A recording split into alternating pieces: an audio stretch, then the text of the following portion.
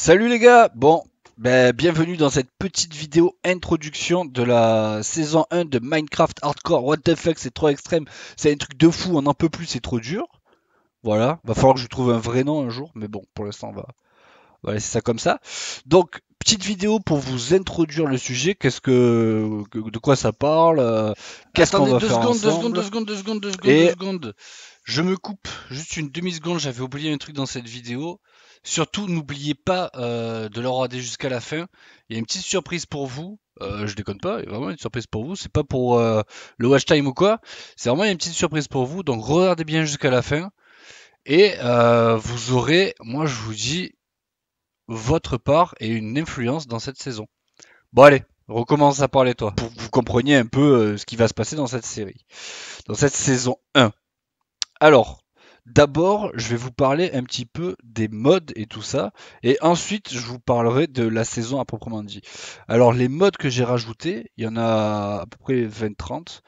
Alors, ces modes, je vais vous les expliquer en gros, de toute façon, vous les verrez dans le gameplay. Donc, ils rajoutent euh, énormément d'animaux, ils rajoutent énormément de créatures euh, malfaisantes même un peu trop peut-être. Euh, à peu près, franchement, je dirais comme ça à la louche, hein, 100, 150 créatures euh, bah, méchantes qui veulent ma peau tout simplement, qui sont certaines extrêmement puissantes, d'autres qui sont totalement nulles. Ces modes rajoutent aussi des dimensions, euh, différentes dimensions, comme euh, la dimension de l'atome qui est un monde de, sable, de désertique avec des pyramides, la dimension du Betweenland qui est un mode plutôt glauque, ténébreux, machin, la dimension aussi des dinosaures, bah, avec des dinosaures tout simplement. tu crées un portail et tu vas dans un monde avec des dinosaures. Donc ça, c'est si je j'abuse pas, c'est ça. Plutôt pour les modes qui rajoutent des dimensions. Il y a des qui, il y a un mode carrément qui s'appelle millénaire qui rajoute euh, des factions dans le jeu, différentes factions dont je vous parlerai un peu plus tard. euh, qui est énorme, le mode est gigantesque. Ensuite, il y a un autre mode euh, qui s'appelle Roguelite Dungeon, roguelite, roguelike donjon, qui rajoute des donjons extrêmement difficiles, donc pareil, je vous parlerai plus tard, dans la suite de la vidéo. Il y a des modes encore qui rajoutent, euh, qu'est-ce qu'ils rajoutent ces modes? Euh, Des armes divines avec des pouvoirs incroyables, des armes euh, à feu, quoi, avec des kalachnikovs, des snipers, des bazookas, des trucs comme ça qui, qui m'aideront grandement dans le jeu, évidemment. Et, du coup, voilà, je pense qu'on a fait un peu le tour. Il y a le mode biome au plenty qui, qui change euh, totalement la- la- l'aspect du jeu, en fait. Enfin, l'aspect, les, biomes dans le jeu. Il y en a 70 à la place de 4 ou 5, je crois, avec des, des décors différents, tout ça. Et ensuite, j'ai un pack de textures qui s'appelle euh, qui s'appelle comment? Chroma Hills, qui rend le jeu un petit peu plus beau, les dessins juste, et un shader euh, qui s'appelle euh, Sus, Seus, je sais pas trop comment on dit, qui rend le jeu là pour de bon magnifique, vous verrez dans la première vidéo de toute façon, et vous l'avez vu un petit peu dans le teasing de la saison. Bref, donc maintenant on va vraiment passer euh, bah, tout simplement euh, à l'explication de ce qu'est Minecraft Hardcore Extreme What the fuck c'est trop dur, saison 1.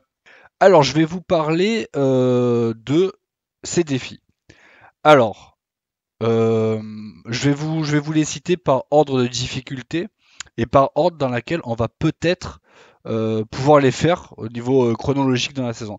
Alors d'abord, les trois premières quêtes qui je pense sont faciles, c'est la quête de l'agriculteur, donc faire un moulin avec bah, des champs, des champs agricoles avec du blé, des citrouilles, des pastèques, des trucs comme ça pour pouvoir sustenter à ses besoins euh, vivriers, comme on peut dire.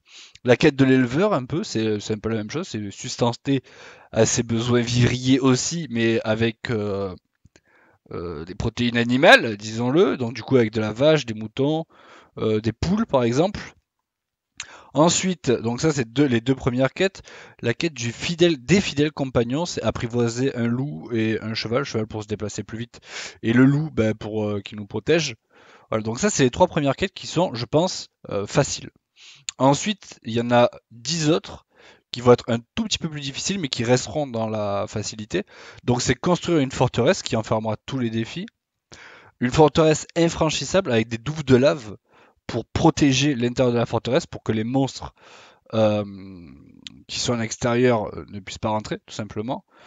Euh, explorer un mineshaft. Alors un mineshaft, c'est des galeries souterraines qui sont directement dans le jeu. Ensuite, une autre quête, ça sera le forgeur enchanteur.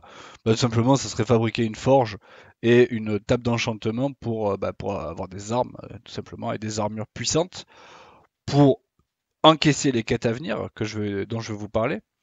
Il y aura la quête du narcissisme qui sera aussi assez facile, ce sera juste une quête de construction où je devrais fabriquer une statue de mon personnage.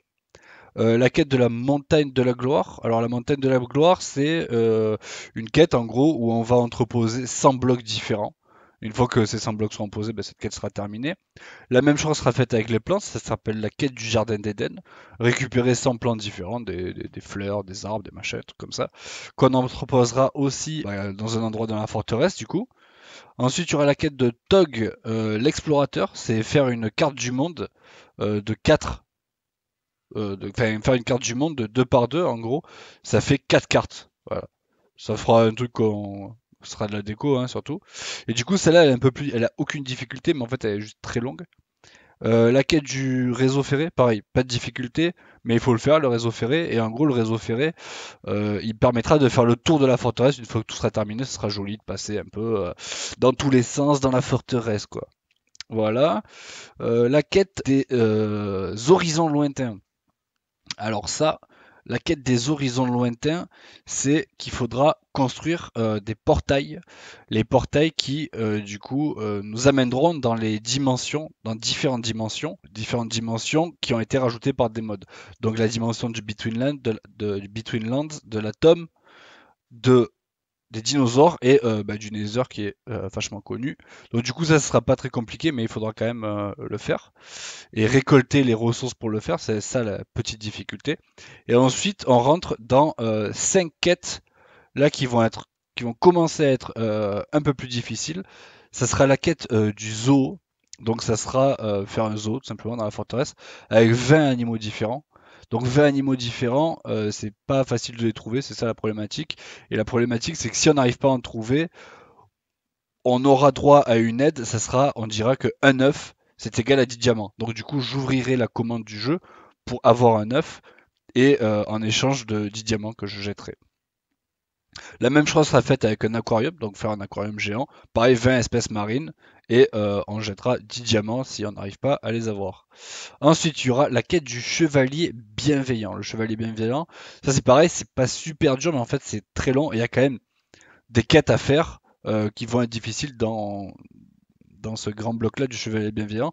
En gros, le chevalier bienveillant, ça serait être ami avec euh, toutes les cultures du mode millénaire. Donc je, récapitule les Mayas, les Romains, les Normands et les, les, les, les, Indiens. C'est pas les Indiens.